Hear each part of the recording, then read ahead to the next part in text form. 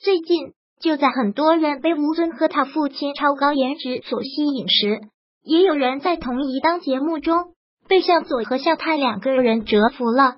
实际上，向佐同样有着耐看的高颜值，而且同样是继承了父亲向佐的强大基因，父子俩都是身强体壮，非常能打。不过，节目中向华强并没有现身，陪向佐一起参加节目的是向太。在节目一开始，向佐向大家介绍自己的母亲，称在自己的印象中，妈妈像猫头鹰。这一下也让很多人诧异，毕竟在大多数人的印象中，猫头鹰并不是什么好鸟。向太一开始并没有理解儿子，有些恼火的对着儿子挥了一下手。但是随后向佐对大家的解释，让人恍然大悟，原来妈妈在他的心目中这么重要。向佐表示，其实这三个字每一个都有解释。首先是猫，猫是很有灵性的，而且生命力也很顽强。妈妈这么多年一直支持爸爸的事业，向华强打拼出一片天的离不开向太的帮助。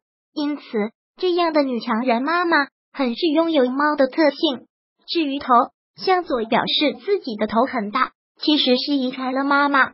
而头大的人很聪明，所以妈妈也是非常聪明的。这就是头的解释。对于这个解释，看得出来向太还是很满意的。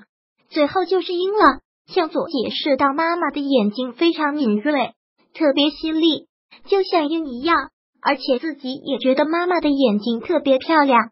看到这里，相信大家都明白了。原来猫头鹰还有这样一番解释，向太对于这些说法看起来了也是很认可，因此笑得合不拢嘴。而小崔看到这样的消息，也转发并问向佐，表示向佐是一个非常尊敬父母长辈的人，是个很好的孩子。小崔是一个很严肃、很认真的人，要得到他的认可还是很不容易的。然而这次小崔夸赞向佐。也是在从侧面夸奖向华强和向太教子有方，而向佐虽然是富二代，同时也是星二代，却一直很低调，健身、拍戏、参加综艺都是彬彬有礼，大受好评的。相信性格如此之好的向佐，未来了一定能拥有更好发展。